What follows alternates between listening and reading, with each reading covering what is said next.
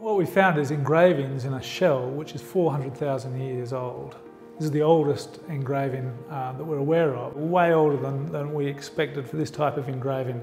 The location and the age of this really means that the uh, most likely candidate for making these engravings is Homo erectus. So this earlier species, Homo erectus, to be associated with these types of engravings really pushes back the, uh, the date when we can start talking about these cognitive abilities that allowed uh, a species to engrave a deliberate abstract geometric sort of pattern previously were thought to be in the domain of Homo sapiens, possibly Neanderthals as well.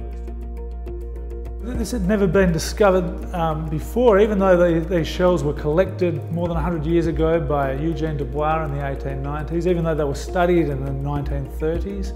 And even when I took the photograph itself, I never saw it. It only came up in the digital image. But once I opened up that picture, the first time I saw it, it was immediate. Those are engravings that have no other natural explanation.